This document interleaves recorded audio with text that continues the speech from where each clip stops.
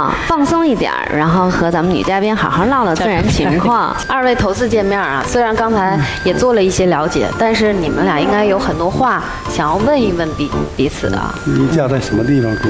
俺家在大东区，嗯沈阳大东区啊。嗯，沈阳大东区几个孩子？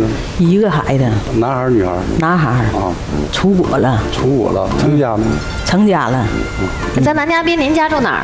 我家辽宁北溪市，我是离异的。她五个半月的怀孕，我出差，我在保卫科工作，出差她就回来，她就把孩子做了。我们男嘉宾呢有一段非常坎坷的感情经历，对他的伤害也挺大的。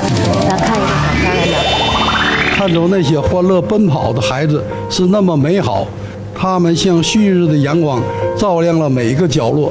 都说孩子是婚姻中的纽带，是爱情的结晶，而我婚姻却是带来了无限的灰暗。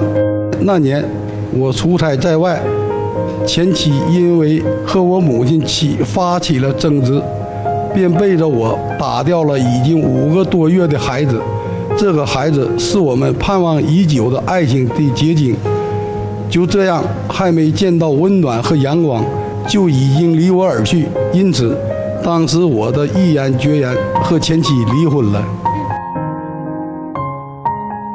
现在的我希望找一个温柔善良的人跟我共度后半生。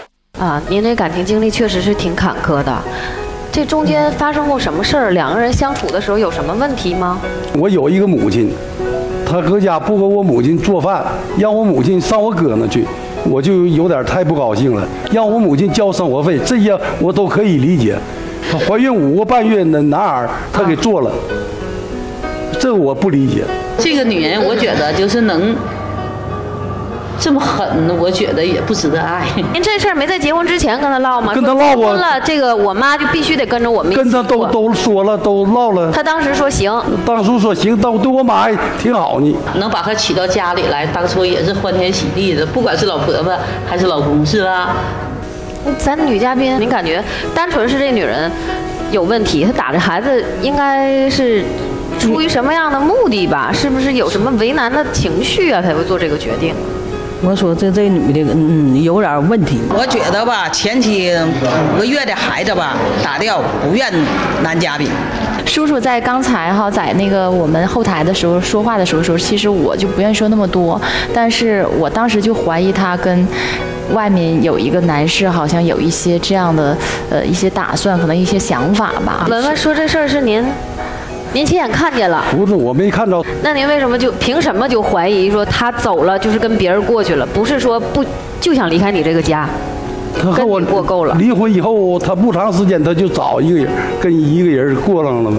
出差也就几天，就几天的这半个月时。间，那就是在这几天时间之前，你们两个人之间的主要矛盾，就是因为他和你母亲之间的问题，你们两个人之间的感情也的这个摩擦也主要是源于他对你母亲的态度，是吗？对，嗯，那么实际你们两个人之前的这种矛盾已经很大了，对吧？